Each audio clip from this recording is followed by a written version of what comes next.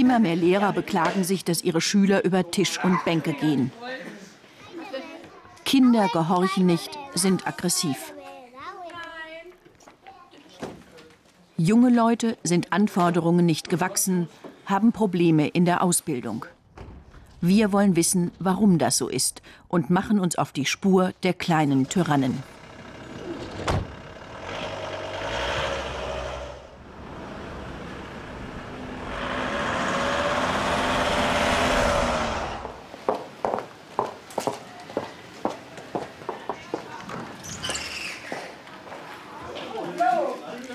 Nein, wir sind nicht in Berlin-Neukölln oder Duisburg-Marxloh. Das ist ein ganz normaler Mittwochmorgen in einer Schule in Erzen bei Bad Pyrmont. Unterrichtsbeginn ist 7.45 Uhr. Inzwischen ist es 7.50 Uhr. Langsam tröpfeln alle ein. Deutschunterricht bei Klassenlehrer Schöndorf. So, schönen Morgen zusammen.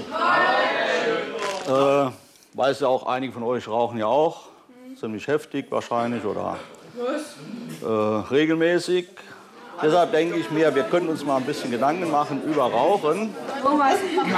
Wer was zum Thema Rauchen zu sagen hat, möchte das bitte notieren. Nachher heften wir es mal hier an die Tafel. Warum ich? Weil ich nicht schreiben kann, weißt du, wie es aussieht. Los, schreib. Ich möchte einen roten. Eigentlich sollten jetzt alle konzentriert ihre Argumente aufschreiben, das Für und Wider in Stillarbeit zusammentragen. Pustekuchen. Äh, Schreib doch mal, warum du rauchst zum Beispiel. Warum ich rauche? Ja, Weil es, ja. verteidig das doch mal. Gelten Rechtschreibfehler. Ja, Ich durfte einen für eins. Dennis, packst du wieder das Brot weg. Klar macht das. Klar macht das impotent. Aber Max Vater. Was? Ich habe gestern die Bilder Wir hatten vorhin ausgemacht, bitte zuhören. Madita. Und keine Kommentare dazwischen. Die Leute wollen sich cool fühlen, finden. Die Leute wollen. Was hast denn du für eine Grammatik? Halt deine Klappe. Also jedem ist das Rauchen selbst, Moment, Moment. Bis alle zuhören. Bitte. jedem ist, jedem ist das Rauchen selbst überlassen. Weil wenn man sich da einmischt, ist ja auch blöd, weil ja, jedem ist halt so.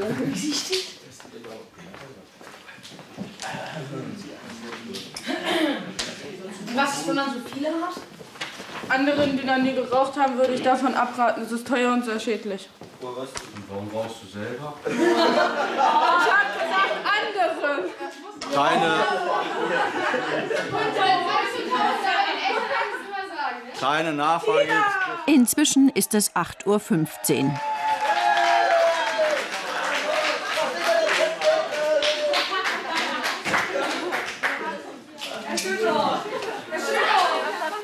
Ja, äh, verschlafen halt. Also, mich hat keiner geweckt. Ich hatte auch keinen Wecker an. Warum kaufst du nicht einen Wecker? Das ist ja nicht so teuer. Kein Geld. Sie muss das alles in die Schule also, investieren, ähm, ich habe kaum Zeit und so. Und dann, dann, ja, weiß ich auch nicht. Was willst denn du mal werden? Wie bitte? Was willst du mal werden? Friseurin. Und meinst du, das, das klappt, wenn du jetzt, äh, Oh, scheiße. wenn du morgens äh, immer eine Viertelstunde später um die Ecke biegst und deine Kundin da schon sitzt? Nee, aber äh, beim Praktikum war ich immer pünktlich und so. Aber irgendwie hier nicht. Warum hier nicht? Das weiß ich auch nicht. Fast, fast jeden Tag zu spät. Ja. Und kann man das nicht auch in den Griff bekommen? Die Eltern wissen Bescheid, stand auch in meinem Zeugnis, aber mehr kann ich da auch nicht machen. Also Sie haben auch wenig Strafmöglichkeiten, ich oder? kann die mal nachsitzen lassen, aber das wird auch nichts bewirken. Und wie gesagt, sie muss jetzt mal eine Strafarbeit machen, mal hoffen, dass es dann wieder wird. Also wenn Sie sie jetzt zum Beispiel sagen, pass mal auf, die halbe Stunde, die du zu spät kommst, die hängst du heute hinten dran. Hilft das nicht? Hilft. Hör mal auf, bitte. Hallo. Sandy. Hörst du mal auf, bitte? Danke. Äh, ich kann das nicht sofort machen. Ich muss den Eltern erst Nachricht geben, könnte also erst nächste Woche das machen, dann ist das wieder vergessen oder weiß man schon wieder nicht, warum das war. Ist das hier immer so laut? Ja. Ist immer so laut? Ja. Und äh, Macht dir das Freude, so zu lernen? Also ich meine, da Nee, brauchst du ich auch sag, nachzukommen. ich sag ja auch immer, die sollen leise sein, ne? aber sie glauben ja aber nicht im Ernst, dass hier jemand drauf hört, wenn man was sagt. Und wenn der Lehrer was sagt, hört ihr da drauf? Bei den meisten. Bei den meisten, also es gibt welche, die drauf hören und es gibt sehr viele, die nicht drauf hören. Warum brüllst du quer durch die Klasse? Zum Beispiel. Keine Ahnung, vielleicht hätte sie jetzt gebrüllt, ey. Nein, ich weiß es nicht. Ja, ne, als wenn die jetzt gebrüllt hätte. Na, du hast auch gebrüllt. Ja, ich weiß. Und warum machst du das? Keine Ahnung. Ja, weil die, mir, die da hinten gehen mir voll auf den Nerven, ey. Außerdem morgens, wenn ich noch voll müde bin, kann ich das voll nicht haben, wenn da hinten so wer rumlabert und wenn sowieso nur Blödsinn ist. Und wenn du jetzt auch schreist, wird es ja nicht besser. Na und? Na, was denn? Was denkst du denn, wie das später mal ein Beruf wird? Was willst du mal werden? Das weiß ich selber nicht. Moment, wir haben uns richtig Teilweise gut benommen lauter. heute. Ja, echt? Wir haben uns richtig gut benommen heute. So sind wir eigentlich nie. Wir sind eigentlich mal schlimmer. Schlimmer. Ja, noch Und was ist denn schlimmer? Was heißt, du bist schlimmer? Also, ich meine, was heißt das? Was macht ihr sonst noch? noch lauter sein, mit Sachen schmeißen und so. Und was müsste man jetzt dann aber noch tun, damit hier Ruhe reinkommt? Damit einfach mal Ruhe ist, damit man zuhören und lernen kann? Was muss da passieren? Die Zeit, die die verlabern, können wir das ja mal so machen, dass sie die hinten an Unterricht dranhängen. Es sollte nicht die ganze Klasse zusammen immer Unterricht machen, weil wir haben ja auch A- und B-Kurse. Und darum, da sind wir dann leiser, weil wir weniger Leute sind. Ach so, wenn ihr also in kleinen Gruppen seid, läuft es besser. Ja. Ja. ja. Also wenn man euch teilen würde, wäre das besser. Ja. Ja. Es ist störend bei manchen Ma- Sachen, aber in A- und B-Kursen zum Beispiel, da sind wir also ziemlich leise. Die Stillarbeit ist beendet. Jetzt ist Pause. Der Lärmpegel steigt nur unwesentlich. Warum lassen Sie sich das gefallen und hauen nicht mal dazwischen und sagen, jetzt ist aber Ruhe hier im Karton? Na, ich glaube, das wird auf Dauer nichts bewirken. Ich muss versuchen, halt mit, mit Argumenten oder mit Überzeugung zu wirken. Und äh, sie haben es nie gelernt, zuzuhören. Also, wenn ihnen was einfällt, müssen sie das sofort loswerden. Aber wie kommt das? immer kreuz und quer. Das ist von Anfang an. Ich habe die Klasse jetzt seit dem fünften Schuljahr. Da war das noch viel, viel schlimmer. Also das ist jetzt schon, schon wesentlich besser geworden. Und wenn Sie beim Elternabend das zur Sprache bringen, was sagen die Eltern dann? Äh, beim Elternabend kommen fünf Leute, seit jeher immer die gleichen. Die wissen das, die sind auch hinterher. Und äh, bei den Kindern ist das auch nicht so massiv. Bettina Putzke ist eine Mutter, die sich kümmert. Sie kommt regelmäßig zur Elternschule ihres Hamburger Stadtteils, belegt Kurse. Ich wollte fragen, ähm, ob der Kursus Grenzen setzt, ob Sie da noch Plätze frei haben. Ah ja, der beginnt ja erst im November. Da habe ich noch einige Plätze frei. Gerne, ja. In ihrem jetzigen Kurs Starke Eltern, starke Kinder überlegt Bettina Putzke mit anderen Müttern, ob es normal ist, wenn Felix sich brüllend auf den Boden wirft, weil er ein Spielzeug nicht bekommt oder Angelina rot anläuft vor Wut. Ich habe vier Kinder. Da ist natürlich richtig Trubel zu Hause. Und äh, dass dann der Große der Meinung ist, ähm, er braucht sein Fahrrad zum Beispiel draußen nicht anschließen. Und ich dann sage, was ist jetzt die logische Konsequenz? Ich kann ja nicht sagen, du darfst jetzt drei Jahre kein Fahrrad mehr fahren. Es fließen hier auch schon mal Tränen. Das kommt auch, dass eine Mutter wirklich völlig aufgelöst ist und sagt so, ich weiß nicht, was ich tun soll. Und dementsprechend äh, ist es schön, wenn man dann weiß, hier sitzen fünf, sechs Frauen, die einen helfen können. Wir besuchen Frau Putzke zu Hause. Uns interessiert, wie schafft es die Mutter von vier Kindern, mit ihren kleinen Tyrannen klarzukommen. Letzte Woche hast du dein Fahrrad mal wieder nicht abgeschlossen. Und ich habe dir gesagt, wenn du das nicht ab- abschließt nachts, dann darfst du kein Fahrrad mehr fahren. Früher hat sie endlos ermahnt, dann gebrüllt und getobt. In der Elternschule hat sie den Tipp bekommen, ruhig bleiben, Regeln setzen, durchhalten. Ihr Ältester muss, weil er das Fahrrad nie abgeschlossen hat, eine Woche zu Fuß zur Schule gehen. Und auch morgens behält sie jetzt die Nerven. Vorher war es so, dass ich zu mehrfach hochgebrüllt habe oder Patrick aufstehen, morgens einmal, zweimal, dreimal und er hatte schlechte Laune, hat mich schon morgens, äh, ich will nicht aufstehen. Das war natürlich gruselig und dann habe ich ähm, in diesem Kurs dieses Thema angesprochen, habe gesagt, das ist eigentlich ein Problem, was ich gerne ändern möchte. Und ähm, wir haben dann so einen Plan ausgearbeitet, dass wir ich einmal nett reingehe und sage, guten Morgen, Patrick, du möchtest aufstehen. Beim zweiten Mal sage ich halt, Patrick, du musst aufstehen. Und beim dritten Mal wirklich nur noch ganz klar, also kurz, Patrick, das ist das letzte Mal, auch mit Ankündigung, das letzte Mal, dass ich dir sage, du sollst bitte aufstehen. und äh, dann komme ich nicht mehr rein. Und die ersten Tage war das schwierig für mich. Da saß ich dann unten, hab gehippelt, weil die Gefahr war einfach da, ähm, doch hochzugehen und jetzt zu verlieren. Und dann habe ich das durchgezogen und es funktioniert gut. Ich gehe halt nicht mehr hoch. Und kommt er zu spät manchmal? Nein, er kommt gar nicht zu spät. Die Kinder haben begriffen, wenn ihr Zimmer im Chaos untergeht oder sie das Geschirr nicht in die Spülmaschine räumen, lässt die Mutter das nicht mehr durchgehen. Dann gab es Ärger von Mama. Und inwiefern gab es Ärger? Mm, Ich bleib den ganzen Tag oben in mein Zimmer. Ich darf nur zum Essen runterkommen. So hast du Stubenarrest bekommen. Mm, Und ich darf nicht mehr zu Winston. Ich darf kein Gameboy spielen. Ich darf eine Woche mit meinem Fahrrad nicht fahren. Und wenn du dann zur Mama gehst und sie ganz lieb anguckst und sagst, du, ich würde so furchtbar gerne Fahrrad fahren, weil das Wetter so schön ist. Nee, das macht sie dann nicht. Nee? Nee. Da bin ich wirklich ähm, eisern, weil ich ja weiß, ich mache ja ein Eigentor. Wenn ich dann sage, du darfst äh, doch dein Fahrrad haben, dann lacht er sich ja. Er weiß ja genau, beim nächsten Mal funktioniert es auch wieder. Doch auch die fast uneinnehmbare Festung Putzke hat Einfallstore. Papa, der lässt uns Fernsehen gucken, wenn ich, der lässt uns öfters Fernsehen gucken. Der macht sogar am Sonntag immer den Fernseher. Ja, aber etwas anderes. Ach, Papa, der ist dann, lässt sich das Herz dann doch schon erweichen. Ja, aber ähm, gucken Sie nicht das, was Sie will. Und dann, Mann, und ähm, da müssen wir auch nicht immer die ganzen Sachen in Geschirrspüler räumen. Es gibt offenbar einen großen Bedarf an Hilfe. Lob der Disziplin, von der Pflicht zu führen oder warum unsere Kinder Tyrannen werden, stehen seit Monaten auf Bestsellerlisten. Die These des Autors, Eltern suchten in der Zeit immer größerer Verunsicherung bei ihren Kindern Halt, machten sie zu Ersatzpartnern, appellierten an Einsicht, statt Disziplin zu fordern. Die Praxis des Kinderpsychiaters und Mediziners Michael Winterhoff in Bonn ist immer voll. Die Kinder sollen, sagt der Mann, hier nachreifen. Auch die Eltern werden in die Behandlung einbezogen. Frau van de Grind und ihre Töchter Annik und Tessa waren lange Patienten. Jetzt kommen sie nur noch zum Abschlussgespräch. Mutter van de Grind wurde selbst streng erzogen.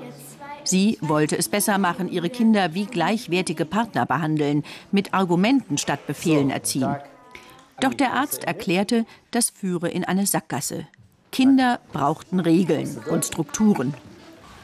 Das Kind hat keine Grenzen gekannt in dem Sinne und wurde dadurch zunehmend aggressiv. Ne? Sagen wir mal bei den Hausaufgaben oder so, äh, dass sie dann an Heulkrämpfe gekriegt hat, wenn ich gesagt habe, das ist aber jetzt nicht richtig, was du da gemacht hast. Ähm, und das ist richtig und ähm, das mache ich auch nicht mehr neu. Inzwischen macht Annik ihre Hausaufgaben allein. Ohne die Mutter und ohne Geschrei. Lange hat der Psychiater mit der Familie diese Situation geübt. Man verliert dann irgendwann die Nerven, wenn man das zum 63. Mal erklärt und sie nimmt es nicht auf, das geht da rein, da wieder raus.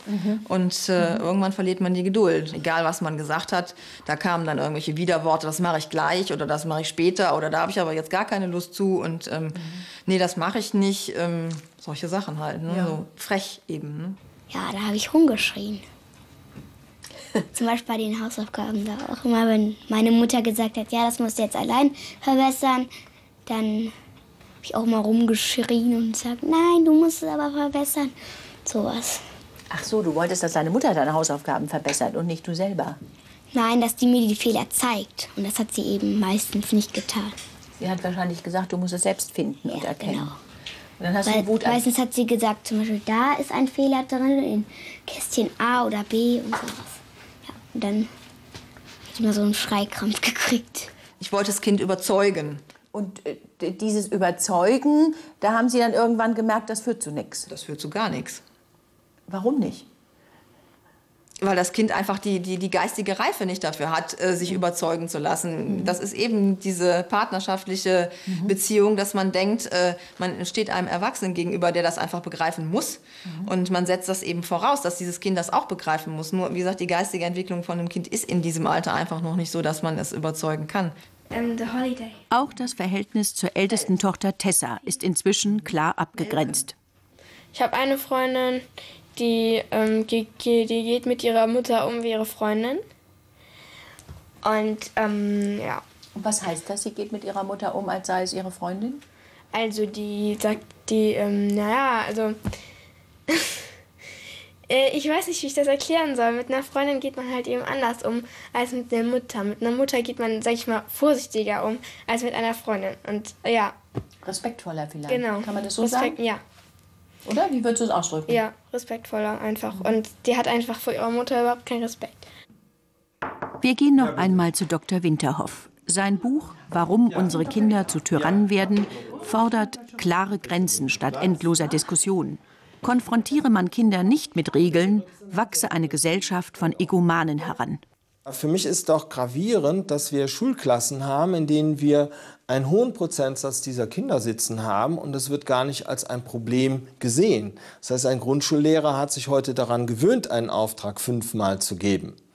Nur da muss man sehen, dass das Kind, das dazu führt oder den Lehrer dahin bringt, diesen Auftrag mehrfach zu geben, ja aus meiner Sicht schon ein nicht entwickeltes Kind ist. Und wenn man kleine Kinder als Partner sieht, ist eine Entwicklung nicht mehr möglich. Das heißt, man muss ein Kind wieder zum Kind werden lassen. Richtig. Als Kind sehen. Also wenn ich ein Kind als Kind sehe, weiß ich, dass ich auch Abläufe einüben muss. Wenn ich das Kind als Partner sehe, sehe ich das gar nicht mehr. Nur wenn wir Kinder als Kinder sehen, wird auch vieles wieder geleistet werden, was einfach Kinder brauchen. Also Führung, Führung, auch mal Struktur, Struktur, klares Regelwerk eine Strafe. ist auch wichtig im Bereich, aber eher im Bereich Kindergarten und Grundschule, weil ich da ja auch eine gewisse Anpassung erreichen muss, im Unterricht zumindest, dass Kinder überhaupt meinem Unterricht folgen. Diese Kinder sind nicht krank, diese Kinder könnte man nachreifen lassen und ähm, wenn wir sie nicht nachreifen lassen, wären sie nicht lebenstüchtig. Wir fahren zu einem Ausbildungsforum in Niedersachsen. Handwerksmeister stellen sich und ihren Beruf jungen Leuten vor. Die sind im letzten Schuljahr und müssen sich bald um eine Lehrstelle bewerben. Köche und Krankenschwestern, Dachdecker und Tischler, Maler und Friseure berichten in der örtlichen Berufsfachschule von Ausbildung und Verdienst. Und wer bei uns im Handwerk gute Arbeit macht, im Friseurhandwerk, der wird auch gutes Geld verdienen. Da äh, kann ich also schon sagen, dass es so läuft. Die jungen Leute platzen nicht gerade vor Wissbegier. Und was denkst du, was der Lehrer von dir erwartet, wenn du dann mal in eine Lehre gehst? Hm. Weiß ich nicht. Sprecht ihr da in der Schule nicht drüber? Also was wahrscheinlich da so auf dich zukommt, was sie... Was denkst du denn, was er von dir erwartet? Keine Ahnung. Weiß ich nicht. Na, Haben wir noch nicht so viel in der Schule drüber geredet. Ja, aber du siehst, deine Mama ist doch bestimmt berufstätig, oder nicht? Ja. Na siehst du, was erwartet denn der Arbeitgeber von ihr? Redet ihr da nicht drüber? Nö. Tischlermeister Bernd Hinze kennt das. Er redet sich den Mund fusselig, doch die jungen Leute haben keine Fragen. Wichtig ist ja, dass er Spaß bringt, dass man sich vielleicht auch mit dem Werkstoff identifizieren kann. Logisch. Ja. Hast du irgendwie spezielle Fragen? Hast du Erwartungen überhaupt an die Ausbildung? Nicht nur vielleicht in puncto Tischler oder Handwerk, es gibt ja andere Berufe hier. Ähm, Erwartungen an das, was vielleicht dein Ausbilder von dir möchte, welche Forderungen er stellt, was du mitbringen musst. Wüsste ich jetzt eigentlich nicht. Also, wird mir jetzt nichts so einfallen. Und was denkst du, was so künftige Lehrherren von dir erwarten? Weiß ich noch nicht. Muss ich noch gucken. Pünktlichkeit ist jetzt nicht ganz so meine Stärke, aber wenn es ums Praktikum geht, dann ist, bin ich schon pünktlich. Also ja. das ist schon, äh, früh aufstehen ist sonst nicht so das, was ich gerne mag. Also in der Schule kommst du öfter mal zu spät, oder? Ja. Pünktlichkeit ist natürlich unheimlich wichtig, weil wenn ich eine Kundin um acht im Salon habe und die Angestellte kommt um Viertel nach acht, das lässt sich schwer vertreten. Das sind so Dinge, die erwartet man eigentlich. Ganz einfache Regeln, dass man einfach guten Tag sagt, äh, nein, danke, ja, bitte. Äh, für mich einfach normale Dinge, die aber bei vielen heute leider nicht mehr normal sind. Wir besuchen die Tischlerei Hinze. Der Handwerksmeister hat zwei Gesellen und einen Lehrling im dritten Lehrjahr. Und ja, ich mache jetzt gerade die, die, ähm, die Zinkenseite. Vor zwei Wochen hat ein neuer Lehrling hier angefangen und aufgegeben. Seit gestern kommt er nicht mehr. Der Chef ist sauer. Sein Geselle hatte sogar angeboten, den neuen morgens mit dem Auto mitzunehmen. Doch wer nicht kam, war der Lehrling. Das ist äh, dreimal passiert und äh, zudem hat er eigentlich in dieser Zeit, in diesen 14 Tagen, zwei Berufsschultermine gehabt, die er nicht wahrgenommen hat. Und das funktioniert gar nicht. Das kann ich mir also nicht erlauben. Ja, also der Lehrer hat dann einmal nachgefragt, äh, Herr Hinze, war es nicht so, dass Sie auch einen Auszubildenden für dieses Jahr haben? Ich sage, ja, wieso? Ja, bei uns ist noch kein Auszubildender aufgetaucht. Und äh, das ist natürlich, das geht gar nicht. Das äh, können wir uns also nicht erlauben. Wir haben uns mit dem Lehrling telefonisch verabredet, denn uns interessiert, warum hat der junge Mann seinen Ausbildungsplatz aufgegeben? Ja. Der ist nicht da. Ach, wir sind aber mit ihm verabredet. Das weiß ich. Das hat er mir gesagt, aber er ist nicht da. Und warum nicht? Er wollte nicht mit ihm reden. Doch, am Telefon hat er sich ja mit uns verabredet. Nee, er wollte das aber nicht. Aber vielleicht können Sie uns ja sagen, warum er nach nur zwei Wochen die Lehrstelle aufgegeben hat. Weil er hat sich dort nicht wohlgefühlt, sagt er selber. Ich, kann das, ich weiß es nicht warum. Und er hat, wird seine Gründe gehabt haben. Aber ehrlich gesagt, ums Wohlfühlen geht es ja nicht unbedingt, wenn ich einen Beruf lerne. hä? Nee, darum geht es sicher nicht. Aber es geht darum, dass die Stimmung ist und dass das, dass das miteinander passt. Und dass Sie mal Ihrem Sohn einfach an die, in die Seite treten und sagen, Junge, Was wollen Sie einem 20-Jährigen in die Seite treten? Sie können ihm das sagen. Mhm. Und wenn er es nicht tut, ich meine, irgendwo ist er auch ein bisschen selber verantwortlich. Guten Tag. Ich hatte eben versucht, bei Ihnen zu klingeln, aber Sie haben mich nicht gehört. Rita Knubbel-Ulrich vom Norddeutschen Rundfunk. Tag. warum ist Ihr Sohn jeden Morgen zu spät gekommen oder fast jeden Morgen? Hätten Sie ihn nicht aus dem Bett zerren können? Ich weiß, dass er zwar den Wecker läuten lässt, aber nicht aufsteht. Ja. Und habe ihn aus dem Bett gezogen. Und ich mache ihm ja Frühstück und Kaffee und mach- alles, Ja. ja. genau. Er kann sich an den Frühstückstisch setzen. Er braucht nur ja, nachher Zähne putzen, anziehen und aus dem Haus Also gehen. ne? Sie sind eine Mutter, es die sich kümmert. Ja, Ja, ja, ja. eben. Also ich meine, es ist mir nicht egal. Nee, das sehe ich Das schon. ist- ja. ja. Und was haben Sie gesagt, als er die Lehre geschmissen hat? Mensch, nach 14 Tagen, da könnte man Ja, doch den Jungen das waren ja nicht mal 14 Tage. Oder 10, ne? Ja. Ja, ich, ich, ich weiß nicht mehr, was ich. Also ich, ich habe natürlich hab ich, bin ich explodiert erstmal und habe geschimpft. Und äh, gut, er hatte seine Probleme, ein Stück weit verstehe ich das, aber ein Stück weit denke ich, irgendwie muss er sich auch durchbeißen und äh, woanders wird er auch nicht, äh, wird auch nicht alles ihm hinterhergetragen. Also er muss das einfach lernen, dass, oder wissen, dass es halt, ja, dass er jetzt arbeiten muss. Ne? Ist das so, dass Sie jetzt so ein, so ein schlechtes Gewissen haben und denken, ich habe da irgendwas falsch gemacht? Ja, was, was hätte ich anders machen können? Wo, wo war der Fehler oder wo ist der Fehler? Wo, wo lief es schon falsch? Also fängt das ganz früh an? Wo, wo war der Knackpunkt, wo irgendwas aus dem Ruder gelaufen ist? Auch hier ist irgendwann mal was schiefgelaufen. Das Arbeitsamt hat sie jetzt in die private Krone-Schule geschickt. Jugendliche ohne Ausbildung, ohne Abschluss, ohne Perspektive. Hier sollen sie den Hauptschulabschluss machen und dann vielleicht eine Lehrstelle ergattern. Sie wissen, es ist ihre letzte Chance. Aber man hat ihnen nie beigebracht, durchzuhalten. Freizeit von Unterricht zu unterscheiden. Sie sind zappelig, unkonzentriert, können nicht zuhören. Stefan, machst du das bitte lautlos? Ja, das, da kann ich doch nichts für. Was hast du da eigentlich für ein Ding, was darunter hängt? Was ist denn das? Das ist vom Handy, vom Radio. ja. Immer so ein Ding hast du immer im Ohr. Hörst du immer im Unterricht noch ein bisschen nebenbei Musik, oder? Nee, ab und zu mal, wenn es langweilig ist. Zu spät kommen ist normal. Pünktlichkeit hat hier noch keiner durchgesetzt.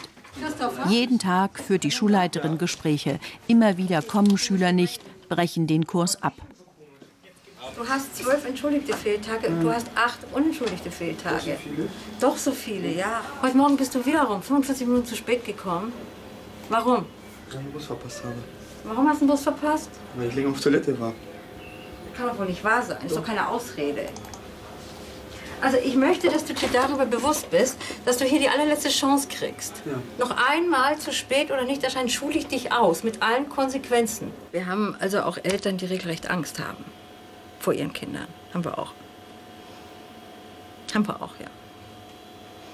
Wo die Eltern sagen, wir werden nicht mehr mit ihm fertig und sehen sie zu, dass sie das irgendwie hinkriegen.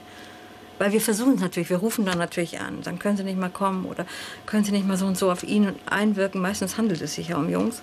Äh, aber das ist halt nicht der Fall. Also da haben wir ganz wenig Erfolg mit Elternarbeit. In der Pause erzählen sie, dass der Staat mit ihnen schon viel ausprobiert hat. Berufsgrundbildungsjahr, Kurse, Schulungen. BGJ habe ich zweimal gemacht. Farbtechnik, Raumgestaltung. Beides mal nicht geschafft. Dann war ich auf äh, Volkshochschule, hatte dann meine Hauptschule gemacht und dann hatte ich kein Geld gehabt und dann bin ich Wovon hast du die letzten vier Jahre gelebt? Zwischen Ende Hauptschule und äh, Anfang hier? ja von meinen Eltern und dann halt jetzt die, ich glaube das letzte, die letzten anderthalb Jahre kriege ich glaube ich Hartz IV war das.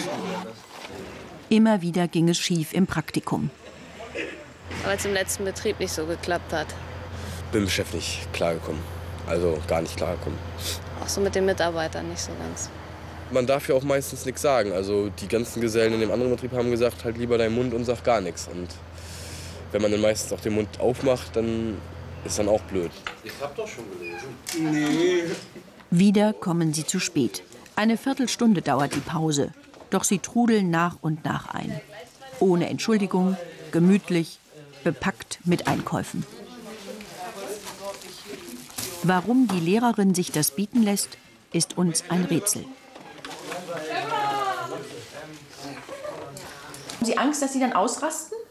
Nicht, dass sie ausrasten, aber dass sie dann gar nicht mehr mit dabei sind. Und das finde ich persönlich viel schlimmer, wenn sie ganz abschalten. Und das ist meistens so, wenn man ihnen zu viele Regeln auferlegt.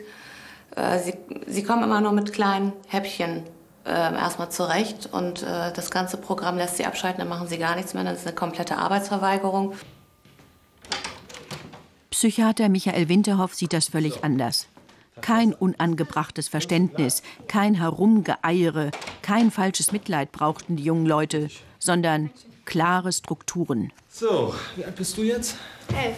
Elf. Äh, ich werde im November zwölf. Bis im November schon zwölf. Super. Und es wird ja gerne abgetan, die haben alle eine Erkrankung. Ja, so viele kranke Kinder, wie wir heute haben sollen, die haben eine Legasthenie, eine Dyskalkulie, ein ADHS und was es nicht alles gibt. Ich will nicht bezweifeln, dass es diese Störung gibt, aber sicherlich nicht in dieser äh, Menge. Denn ich bin 25 Jahre im Fachberuf, warum haben wir vor zehn Jahren nicht so viele Kinder gehabt? Also die, meines Erachtens liegt die Störung tiefer. Und wenn es Entwicklungsstörungen sind, nochmal sehr klar gesagt, sind sie zu beheben. Im Betriebspraktikum in der Maschinenfabrik sind die Regeln klar. Auch für die Schüler von Deutschlehrer Schöndorf in Erzen. Als sie sich bei unserem Besuch in ihrer Klasse Gedanken über das Rauchen machen sollten, waren sie zappelig, brüllten dazwischen, waren kaum zu bändigen. Jetzt müssen sie sich konzentrieren. Und siehe da, es geht. Sie sind aufmerksam, bemüht und lammfromm.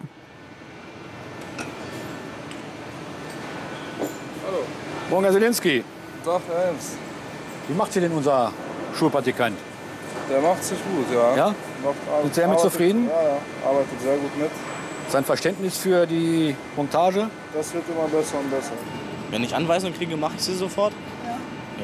Wie ist das in der Schule? Machst du das da auch sofort?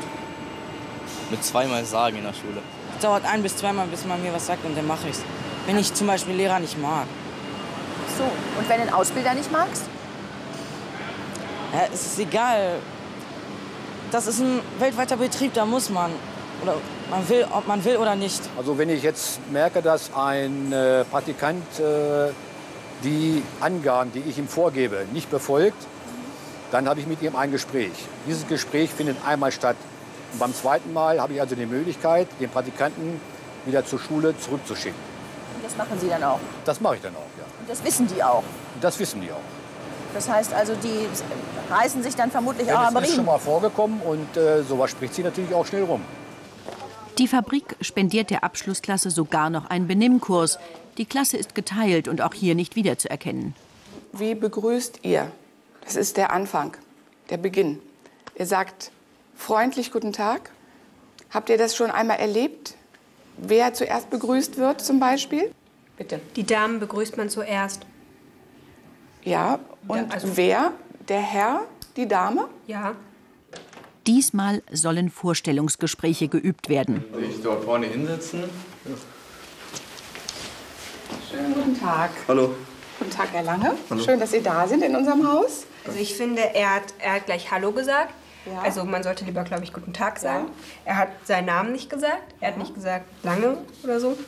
Ähm, er war, finde ich, viel zu verspannt. Und er hat immer hm gesagt.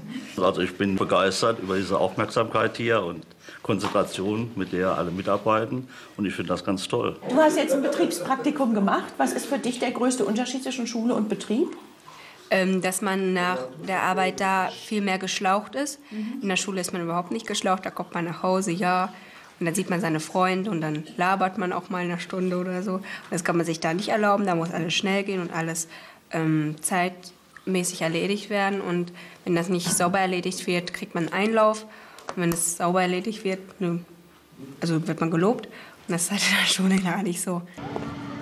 Die Kinder dieser Schule brauchen keinen Benimmkurs. Sie kommen aus gut bürgerlichen, wohl situierten Elternhäusern. Aber Disziplin ist kein Schichtenproblem. Das Hamburger Johanneum gilt als sogenannte Gelehrtenschule, an der Latein und Griechisch unterrichtet wird. Die Schüler sind eloquent, werden wahrscheinlich irgendwann Abitur machen und studieren. Doch diszipliniert sind sie nicht. Unterricht in der achten, Geografie bei Klassenlehrer Gundolf Hermann. Doch ob er schon da ist oder die Linde rauscht, interessiert erstmal keinen. Es wird weiter gequatscht, die Haare gekämmt, schnell noch was getrunken.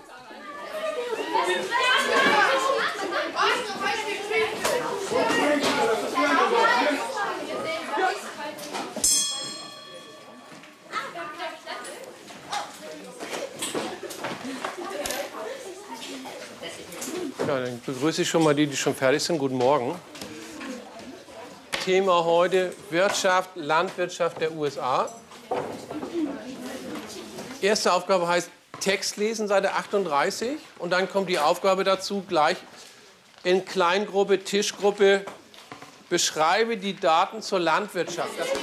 Das, Die Begeisterung hält sich in Grenzen. Soll ich den Kuss auf den Mund geben? Das Nein, sollst du nicht. Applaus. Da hast Wir, du sie, auch. wir sind nicht schwul. Trink mehr.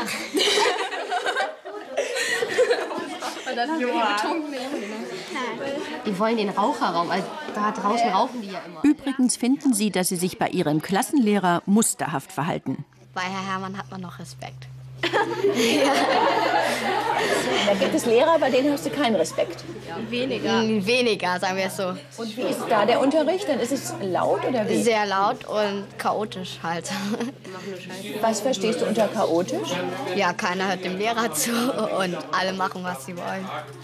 Da ist nur Chaos, also nee, da geht gar nichts. Wir machen, da, wir machen nur Scheiße, ey, das geht, das geht gar nicht.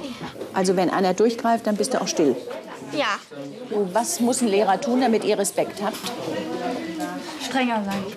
Und wie ist es zu Hause? Musst du dann sofort gehorchen, wenn deine Vater oder deine Mutter sagt, so jetzt räumst du mal auf und machst du mal Hausaufgaben? Nein, vielleicht ich sollte es, aber ich mache es nicht immer. Ich diskutiere durchaus gerne mit meinem Vater. Ja, okay, ein bisschen Wegen diskutieren sowas. aber Ja? Wegen, wegen, wo, wegen was?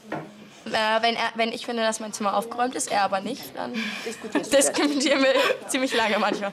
Wie denkst du, wie das später mal wird, wenn du mal berufstätig bist? Sonst werde ich einfach Chef. Sonst wirst du Chef? Ja. Chef wollen alle werden. Ob die ehrwürdigen Pädagogen, deren Porträts an der Wand hängen, sich hätten träumen lassen, dass Schüler heute ständig diskutieren und Eltern sie deshalb für besonders aufgeweckt halten? Es gibt auch Väter und Mütter, die sogar Tobsuchtsanfälle als Ausdruck der starken Persönlichkeit ihrer lieben Klein interpretieren. Was ihnen fehlt, ist, ist eine ganz klare, wenn man sagt Nein, dass das Nein auch gilt. Dass Also, man das dass auch nicht so disku- meint. Dass nicht diskutiert wird. Nein, muss nicht diskutiert werden, sondern das ist so, wir machen das jetzt so. Und wir Mhm. können auch nicht alles, ich kann auch nicht alle Teile den Schülern freistellen. Macht das mal. Natürlich gibt es bestimmte Altersstufen, wo man sagen kann, das könnt ihr selber entscheiden. Mhm. Aber es gibt Bereiche, wo ich entscheiden muss. Also ich habe auch Schüler, die sagen, nö. Hm. Und dann schütteln die den Kopf. Und dann so, so, sie verziehen die Nase. Und man sagen kann, äh, Entschuldigung, hier nicht. Ja. So. Manchmal denke ich auch, woher haben Sie das? Und dann gibt es nur für mich nur eine Erklärung, die heißt, zu Hause funktioniert das. Ab hier ist Schluss mit Diskussion und Fußaufstampfen. In der Arbeitswelt weht ein anderer Wind. Wer bis jetzt nicht Bitte, Danke und Guten Morgen sagen konnte, lernt es spätestens hier. Schönen guten Morgen. Das Hotel hat seine Lehrlinge vom ersten Tag an unter Wind. Jawohl, Frau Lotz, genau so haben Sie es richtig gemacht. Der Gast wird begrüßt entsprechend der Tagesform. Guten Morgen, guten Abend, je nachdem, wann Sie das Essen hinbringen. Und äh, achten Sie auch drauf, wenn Sie englisch sprechende Gäste haben, die natürlich in Englisch zu begrüßen. Mhm. Und wir werden jetzt gleich dann auch weiter starten, wie wir das äh, Frühstück oder je nachdem das Essen ins Zimmer bringen. Wir starten jetzt mit dem Anklopfen. Sie lernen dreimal anzuklopfen und nicht gleich, auch wenn ihnen danach ist, ins Zimmer zu stürmen. Am Eingang üben sie höflich zu sein, aufmerksam auf Gäste zuzugehen. Tag. Kann ich Ihnen behilflich sein? Ja, ich suche die Toiletten. Ja, natürlich, sehr gerne. Ich begleite Sie ein Stück. Dankeschön. Super, Frau AB, wir haben es ja gerade noch mal schön geübt. Ne? Ich bin reingekommen, ich habe ein bisschen Hilfesuchend gemacht, dass Sie auf mich zugekommen sind. Super gemacht, ne? schön erkannt, dass ich hilfesuchend bin, mich begleitet. Toll, prima. Dankeschön. Lehrlinge haben sechs Monate Probezeit und werden scharf beobachtet, erfahren wir. Also ich hätte nie gedacht früher, dass ich das irgendwann mal sagen würde, die Jugend von heute. Also ich habe selber hier meine Ausbildung gemacht vor elf Jahren, das ist schon ein Weilchen her. Demzufolge weiß ich, wie wir damals waren in der Azubi-Einführung. Und heutzutage ist es einfach, da gibt es dann auch mal einen vorlauten Spruch im Training oder ja, kommt vielleicht auch mal einer für zwei Minuten dann doch zu spät im Training. Nur wir greifen da schon gleich ein. Viele Hamburger Betriebe arbeiten mit Schulen zusammen, machen Lehrern und Schülern deutlich, was sie erwarten. Das trägt Früchte. Die Otto-Hahn-Schule liegt in einem sogenannten Hamburger Problemstadtteil. Die Kinder kommen aus allen Erdteilen zwischen Hamburg und Haiti und haben oft eine beschwerliche Kindheit hinter sich. Eigentlich erwarten wir hier Chaos und werden vollkommen überrascht. Erst einmal wünsche ich allen einen schönen guten Morgen. Guten Morgen, Frau Mami. Und jetzt möchte ich gerne, dass wir die Aufgaben, die da stehen, vorlesen, damit ihr erstens wisst, was ihr tun sollt und zweitens Fragen dazu stellen könnt, wenn ihr was nicht verstanden habt. Welche Voraussetzungen beim Arbeiten sind zu beachten? Wenn man eine, eine neue Aufgabe holt, dann muss man sie leise holen. Ja. Und, Sarah? Man, man, man soll flüstern. 20 Zentimeter Stimme, genau. 20 Zentimeter Stimme heißt bei Klassenlehrerin Frau Ramin, dass hier nicht quer durch den Raum gebrüllt wird. Auch bei Gruppenarbeit kein Tohuwabo ausbricht. Genau, das ist der Daumen. Ne? Der zeigt da zum Die Lehrerin hat ein System ausgetüftelt, damit jeder weiß, wann es zu laut wird. Naja, mal noch. Seien wir mal nicht so, ne? Gut. So, weil die Klasse wieder leiser geworden ist, können wir das wieder ändern. Ach so, das ist Ihr Bewertungssystem, wie die Kinder Das sich ist benehmen. eine Rückmeldung, ohne dass ich sprechen muss, dass ich also den Kindern signalisiere, im Augenblick ist die Arbeitsatmosphäre in Ordnung oder es fängt an kritisch zu werden oder es ist zu laut. Disziplin zu erreichen ist anstrengend, erfordert Konsequenz von den Personen, die sie haben wollen. Und Kinder erwarten Grenzen und wenn sie diese nicht bekommen, dann äh, nutzen sie den Spielraum, den sie haben, aus. Das Grenzen setzen wiederum ist auch anstrengend. Also von daher ist es also, es ist eine Arbeit, die auf beiden Seiten geleistet werden muss. Und wenn die eine Seite sie nicht leistet, kann die andere auch nicht nachfolgen. Für gutes Betragen und Pünktlichkeit, dafür, dass Bücher und Hefte immer parat sind, verteilt die Lehrerin Gutscheine und am Ende der Woche eine kleine Belohnung. Ordentlich benommen und du hast auch immer alle Sachen dabei, alle Bücher. Ich bekomme heute einen wieder. Und du hast zweimal irgendwie Mist gebaut, ne? Ja, und heute bekomme ich einen wieder. Ja, und du? Du hast auch alle und sogar einen Zusatzgutschein. Nein, endlich alle. Ich hatte, ich hatte auch noch einen anderen, nur den habe ich schon abgegeben. Jeder Schüler hat Pflichten, muss aufräumen, Müll wegbringen. Die Lehrerin ist überzeugt davon, dass sie mit klaren Regeln das Fundament für die Zukunft ihrer Schüler legt. Doch sie würde sich gerne noch mehr um jeden Einzelnen kümmern. Das, was ich hier leiste oder was wir alle hier leisten, ist Beziehungsarbeit. Und diese Beziehungsarbeit, die braucht Zeit. Und diese Zeit haben wir heute nicht mehr. Im Vorübergehen zwischen Tür und Angel Beziehungen aufbauen, ist schlechterdings unmöglich. Ob die Lehrerin sich woanders wohler fühlen würde? Wir sind auf dem Weg ins Nobelinternat Torgelow in Mecklenburg-Vorpommern. Die Lernbedingungen dort sind idyllisch, haben wir vorab dem Prospekt entnommen. Die Eltern dieser Kinder klinken sich aus dem desolaten staatlichen Schulsystem aus, sind bereit, im Monat rund 2500 Euro für die Zukunft ihrer Söhne und Töchter zu bezahlen. Wir kommen rechtzeitig zur allmorgendlichen Schulversammlung. 230 Schüler hören sich an, was der Tag so bringt und gehen nicht über Tisch und Bänke. Guten Morgen. Heute wollte ich erinnern, dass die Reiter heute nach Sommersdorf gehen. Das betrifft Annika und Marie Lehmann, Lucy Wegner, Sarah Düber, Anna und Tamasch. Und ihr seid bitte um 14 Uhr abfahrtsbereit. Einen schönen Tag für euch. In jeder Klasse lernen maximal zwölf Schüler, hören wir. Es gibt also Ruhe und Zeit fürs Lernen, für Erziehung, Charakterbildung. In Klasse 10 werden heute Gedichte interpretiert. So kurz vor der Klausur noch mal an einem Gedicht, an einem allerletzten Gedicht äh, uns darauf einzustellen. Okay. Zur Grabesstille trägt sicher auch unsere Anwesenheit bei, aber bei so wenigen Schülern kann auch keiner ausbrechen.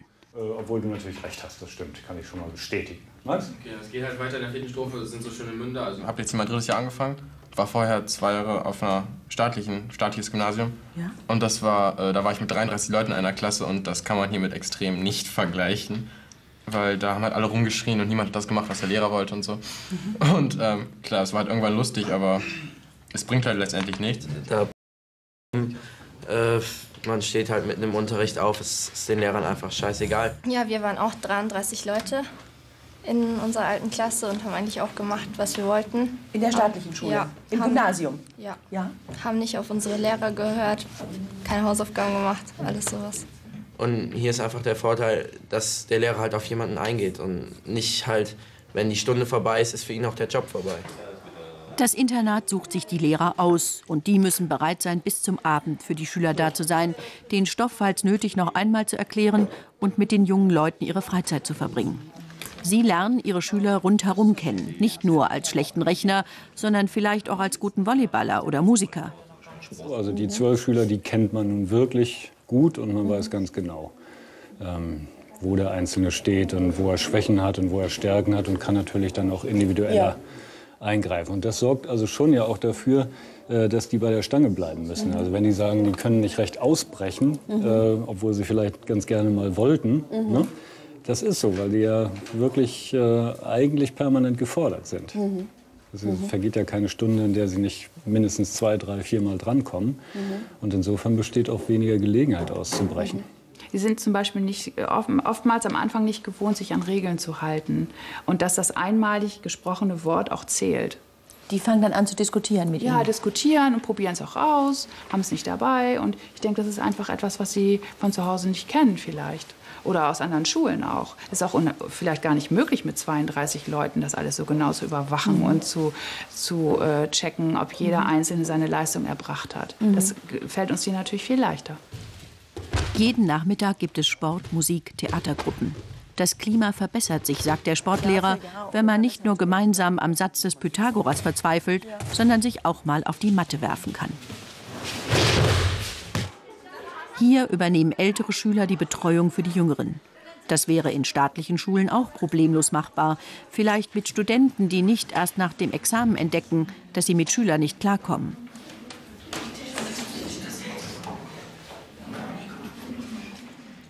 Diese Kinder haben in staatlichen Schulen nicht versagt. Aber sie selbst merkten, dass sie dort zu wenig lernen.